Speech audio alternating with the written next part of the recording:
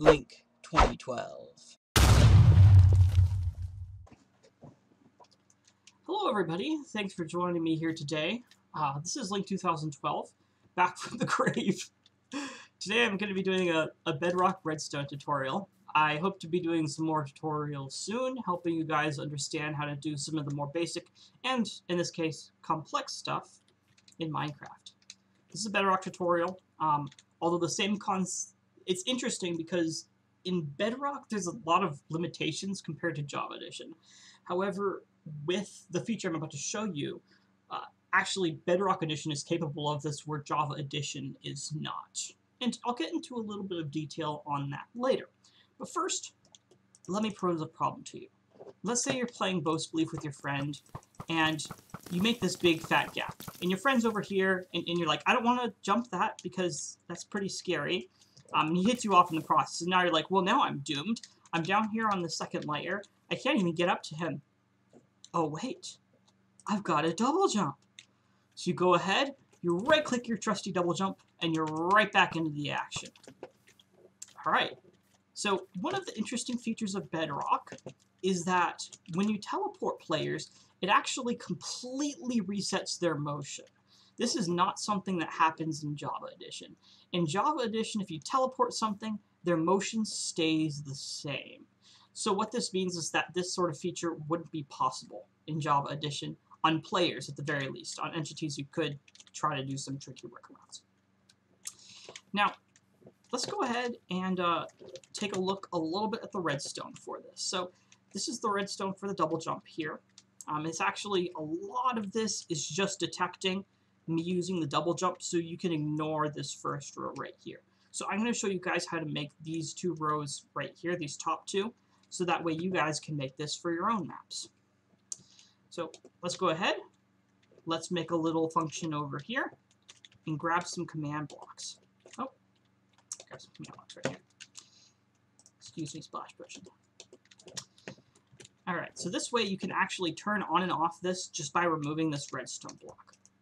So the first thing we're going to do is actually note that this is double jump, so that way you can see this function in your map pretty easily if you just hover right over it in creative mode.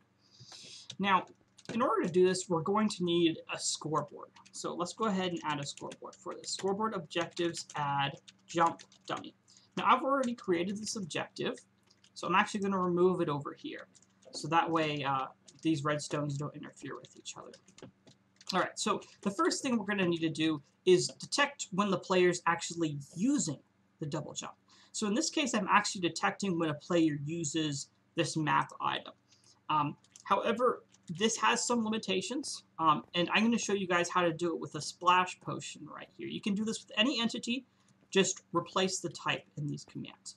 So we're actually going to detect it, so where you, when you throw a splash potion, it's going to go ahead and launch you into the air. I'm going to go ahead and set the scoreboard up right here. That way, we can go ahead and see this jump option. Alright, so first things first is we're going to use the execute command. And we're going to actually execute at all type equals splash potion. And relative to that splash potion, we're going to scoreboard players set at p jump 1. So this is going to set the players jump to 1 so long as they throw that splash potion. Let's go ahead and see this in action. So as you can see right there, my jump just went up to 1. So now we've actually got to make it increment. So scoreboard, players, add, at all, scores equal, jump equals 1, dot, dot, only add two dots there, jump 1. So now you're going to see this number skyrocket up. Now we're going to bring that down to 0 in a second here, but first of all, there's a problem, which is that this is going to always stay at the same number if we throw this potion. So we've actually got to kill that potion off. So let's go ahead and kill at E, type equals splash potion. So this is very important. So that way you can only use, if you're doing these special types of functions, you can only use these entities once in the map. But as you can see here, as soon as I use it, it begins incrementing up. So now what we're going to do is set players' scores to zero once it hits a certain value. So scoreboard, players set at all, scores equal jump equals 20, jump 0. So just like this. So now it'll only count up to 20 and then stop. Now if you wanted to add a longer double jump, you can go ahead and increase that value there. A lot of the values can be tweaked. I'll probably try to point out the ones that can't be. Alright, so at this point, we've got our little increment going up. Now, before you get too far into the double jump process, you might want to add some special effects. So at this point, you would go execute at all, scores equal jump equals 1, and then tilde, tilde, tilde. And you can go ahead and add some particles. You can go ahead and add some sounds. So we're going to go ahead and add a sound here just as an example for you guys. Play sound, note.pling at all. So now when we use this, it won't play any sounds. Ah.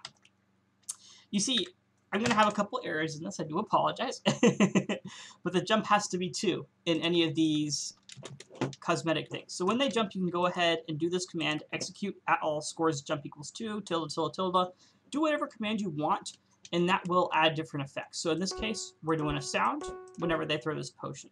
You might also want to stop the sound of the potion throwing. That way it doesn't sound so off-putting. Alright, so let's say you have all your aesthetics done here, but now it's a tricky part. You've actually got to make the player jump again. So let's go ahead and start programming that in. And this is going to be the longest part, so pay close attention or feel free to pause the video if you need to. First, we're going to execute a command relative to any player that has the jump score of 2.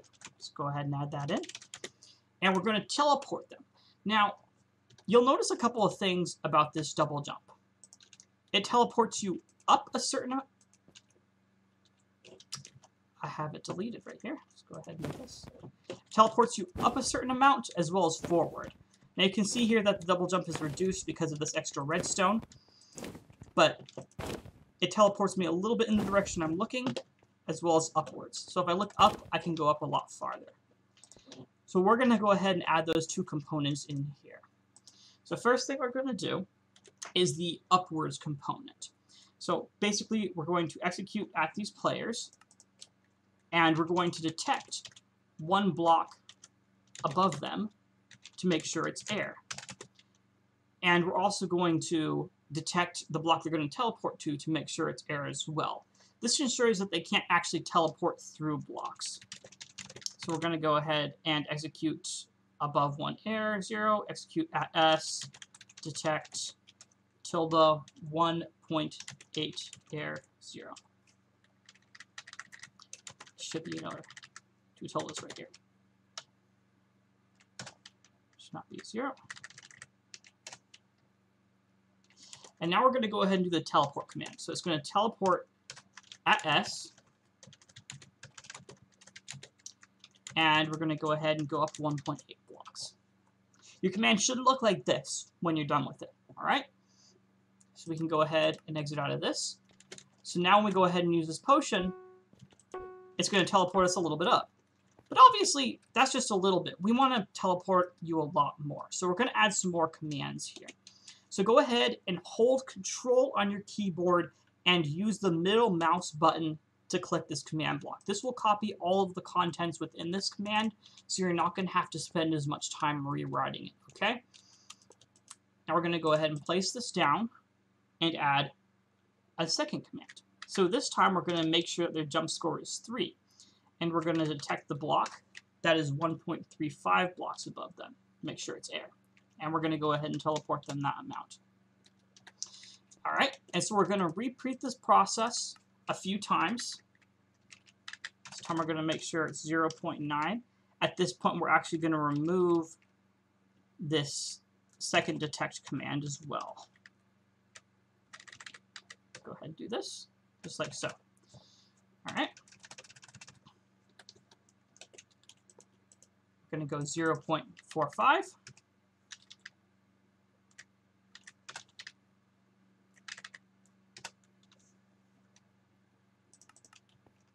And make sure you're incrementing your jump score by 1 each time. So here it's 2, here it's 3, and then here I accidentally put 3 again. So this actually needs to be 4, otherwise it will make them jolt. And this one should be 5, right here. There we go. That's correct. Alright, then we're going to make them go up another 2 5 blocks. The score of 6. And last but not least, we're going to make them go up another tenth of a block.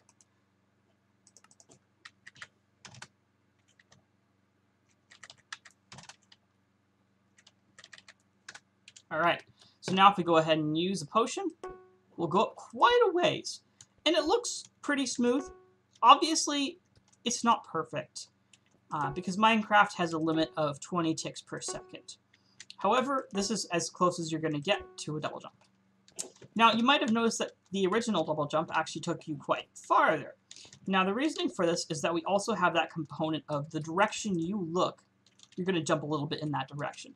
So let's go ahead and add that component in now. We're going to go ahead and steal our initial command over here just to make our lives a little bit easier. So now what we're going to do is we're actually going to replace all of these tildes with carets. And what this is going to do is it's basically going to execute all of these commands relative to where the player is looking. And one other thing is that the number, the 1.8, actually needs to be on the third caret. So just like you see me doing right here. Okay, so now that's going to go ahead and teleport us a little bit in the direction we look. You see we're moving forward a little bit each time. So I was over there, now I'm over here.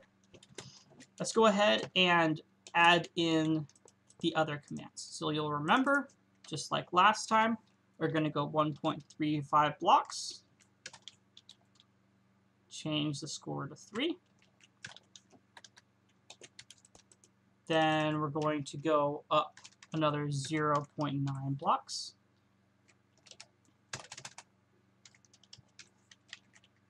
And we're going to remove the second detect command. Change the score to 4. Going to go ahead and go up one so that way we can stay in the same chunk at this point. At this point we're going to go up 0.45 blocks. Change the score to 5. We're going to go 2 5 blocks. change the score to 6. And last but not least, we're going to go up a tenth of a block and change the score to 7. Now this is great as you can use two double jumps back to back, have the same effect.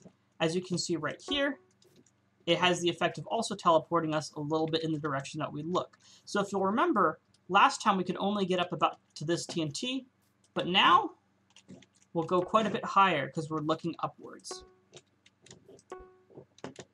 Alright, and so that should be it for the redstone. Now you might ask, how do you modify this if you want to make the jump bigger? What if you want to make the jump smaller? So normally you're going to have to apply a gravitational equation for this, but honestly, you might be a little bit lazy. So in that case, all you need to do is just reduce these numbers by a little bit, or have fewer of them. So maybe you only want them to go up a couple of blocks. So you're going to start right here. You're going to teleport them 0.9 blocks up. You're going to go ahead and ignore these two right here. And you could even do that by adding these redstone right here. Alright, I think that should be it. Thank you all very much for watching. I hope that this tutorial helped you learn how to make a double jump. If you have any questions, please feel free to post them in the comments down below. Also, I'm going to try to have a list of all these various commands in the description if you guys want to go ahead and copy them over instead of typing them out manually. But until next time, everybody, don't forget to contribute, and as always, make the most of your day.